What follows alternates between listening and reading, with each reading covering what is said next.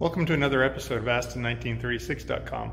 So today I thought it'd be, uh, since I had the car up in the air getting ready to do some other work, I'd do a quick check. It's been about six months since I put on my SlipLo anti-skid plate on the front bumper and uh, I wanted to show you what it looked like.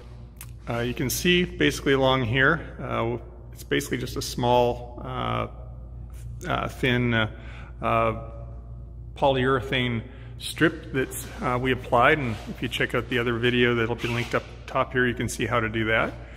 Well here's how she's doing. Um, she's had a couple of scuffs and she's done exactly what she's supposed to have done.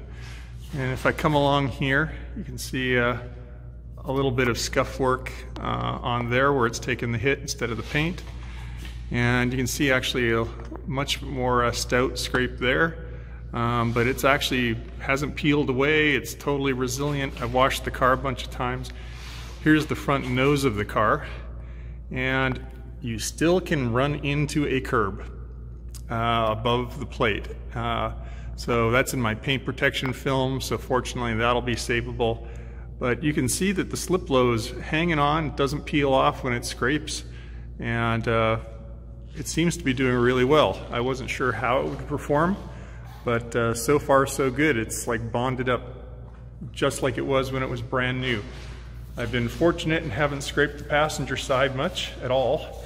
So um, obviously it's just the driver's side. And uh, um, so my report so far at the six month level is SlipLo still doing good. Well, I'll do another report somewhere around the uh, one year mark. And uh, up here, you'll uh, probably see a link to how to install the SlipLo. And uh, if you enjoy videos like this, please subscribe. And as always, I'd love to hear your comments. Let me know how your SlipLos are working out. Um, leave those down below. Thanks for watching.